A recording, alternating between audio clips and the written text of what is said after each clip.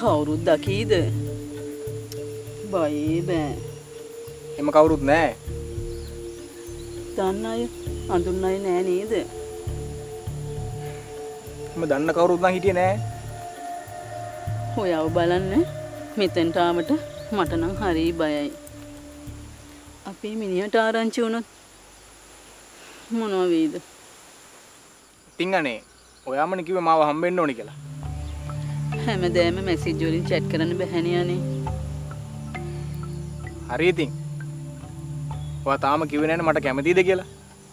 කැමති කැමති යනේ නැත්තම් මෙහෙම ඉන්නේ නෑනේ ඒකත් ඇත්ත තමයි නේද? අපි අනිත් දවසේ මෙතනදි හම්බෙන්නේ නැතු වෙන කොහෙද හරි හම්බෙමු හ්ම්. මං කියන්න. ඔයා සුදීර් නැති වෙලාවට මට කියන්න. මං එතකොට බෝඩිමට එන්න ෂා. ඒක නම් මරු අදහසක් මොන එක. එහෙම නම් කිසි ප්‍රශ්නයක් නැහැ